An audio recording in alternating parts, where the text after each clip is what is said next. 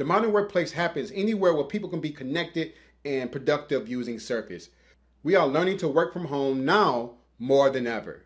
Whether you're video conferencing, creating documents, collaborating using Microsoft Teams, having a large screen makes your experience better while using a Surface or a laptop. Hi, my name is Kenneth Perry. I'm your technology expert, and today I'm going to show you four ways you can connect to your TV or monitor using a Surface. First, you want to ensure that you have an HDMI cord. Yes, an HDMI cord. You know what that looks like, right?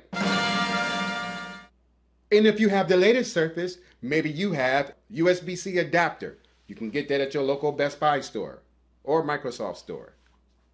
And if you have a Surface Pro 3 through Surface Pro 6, then maybe you need that mini display port adapter. Hmm. Well, whichever Surface you have, you want to ensure that you have the right tools needed in order for you to accomplish your goal, which is to create that ultimate home workstation connecting to your TV and monitor. Hit that button. We are now ready to connect your Surface to a TV or monitor. But first, you want to make sure your TV or monitor has an HDMI port. If so, insert it into the port now. The Surface Book 2 has a USB-C port located on the right side of the keyboard next to the Surface Connect port right here. Next, locate your USB-C adapter and HDMI cord. Insert the HDMI cord into the HDMI port on the USB-C adapter. Then insert the USB-C adapter into the Surface USB-C port shown here.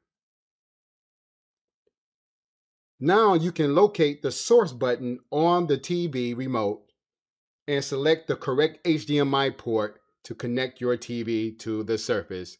And there you have it. It's connected. All the latest Surface family devices have USB-C ports. If you have an older Surface Pro, laptop, or Surface Book, then you will need a mini display port to HDMI adapter to insert into the Surface mini display port on the right side of the surface. Now, locate the mini display port adapter and the HDMI cord. Insert the HDMI cord into the HDMI port on the adapter. Then insert the adapter into the mini display port on the right side of the Surface Pro as shown here. Once connected, then your Surface desktop will appear on your TV or monitor. Next, I'm going to show you how to connect your Surface dock to your Surface. If you have multiple monitors, then you will need two mini display port to HDMI adapters to connect to the docking station. Before we begin, ensure your HDMI port is inserted into your monitor. Locate the opposite end of this HDMI and insert it into the HDMI port on the mini display adapter.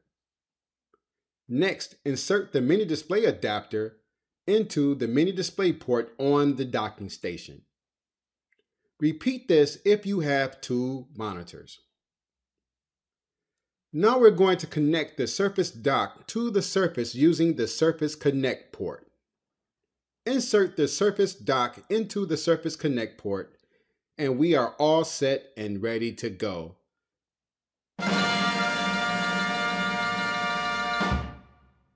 Now let's see how you can connect your Surface device to a TV or monitor wirelessly using the Miracast technology built into all Windows 10 and Surface devices. In order to connect to your TV wirelessly, you have to go into your action center. And your action center is in the right hand corner here. Now keep in mind that the Surface and the TV that I'm currently using have the Miracast technology, allowing you to be able to stream directly to your TV. Once you're in the action center, you want to select connect. And then you want to find your TV and select the TV. And then you're going to start streaming from your laptop to the TV, no problem at all. So if you wanted to browse the web, you can browse the web. Open a Microsoft document, you can open a Microsoft document, no problem at all.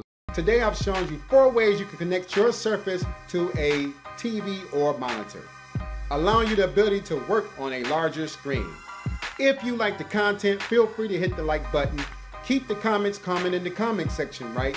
And then don't forget to subscribe to K Perry Global YouTube channel and hit that bell for updates. Hit that button